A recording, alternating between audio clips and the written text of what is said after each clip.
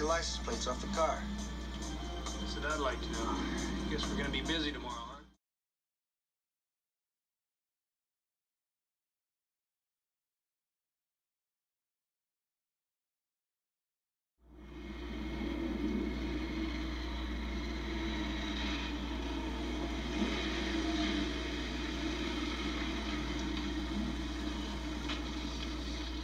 I gotta pick up my watch today.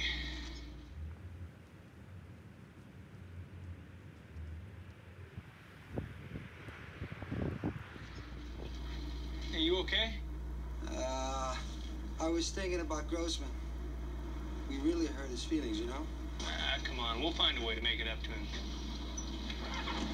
Good luck.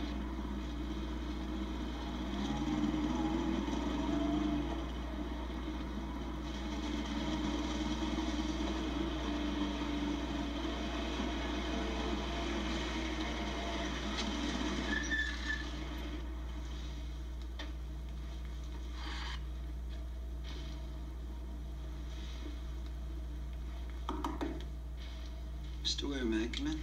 Oh, by all means. I thought we might talk about our credit ratings. My partners and mine. I told you once, tough maracas. I can prove you gave false information, bring charges against you.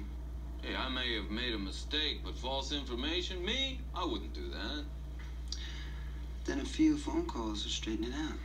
Now look, I'm out there returning merchandise from some deadbeat who has skipped on an honest businessman. You guys come along and harass me. You cost me a bundle, you know, you and your partner. Heartaches, you know? We'll learn to live with the lumps. And get out of here. Would you show me the papers on the vehicles out there and the one in the garage? I would not. Okay, we got the license plate numbers. We'll start with them. Start what? Mr. Ware, an honest collector's one thing. Your license plate racket is larceny.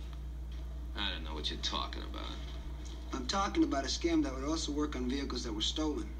Every car out there is a legit repo. Okay, I'll tell the district attorney that's what you said. District attorney, Yeah, man. Tough maracas.